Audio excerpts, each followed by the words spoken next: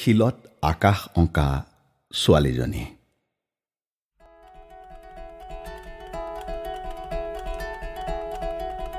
সেই ছোৱালীজনীক মই কেতিয়াও দেখা নাই।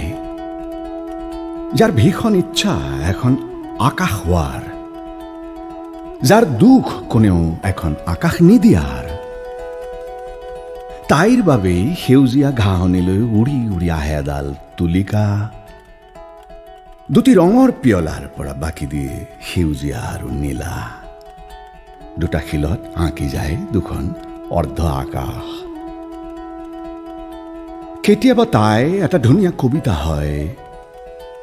মঞ্চত সমীকৰণ কৰে প্ৰেমৰ আৰু দলঙত শুই শুই চাব খোজে তাইৰ প্ৰিয় আকাশ। তাইৰ নিমজ গালখনত এটা প্ৰজাপতি পৰে।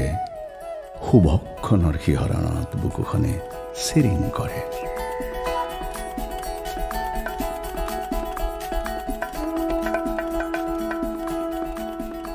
দুখ পালেও মনৰ সংগ নেৰা তাই সুন্দৰী মানসী।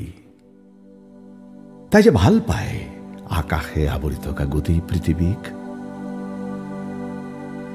সেই ছোৱালীজনীক মই কেতিয়াও লগ নাপাম। হয়তো সময়ৰ দীঘল সাকোত তাই বহু দূৰৰ সপোন। কল্পনাৰ দুখৰ কুঁৱলীৰ মাজত হয়তো তাই অস্তিত্বহীন। তথাপি মই আকাশখনলৈ চাম। কি জানিবা তাইক? কেতিয়াবা দেখা পাম।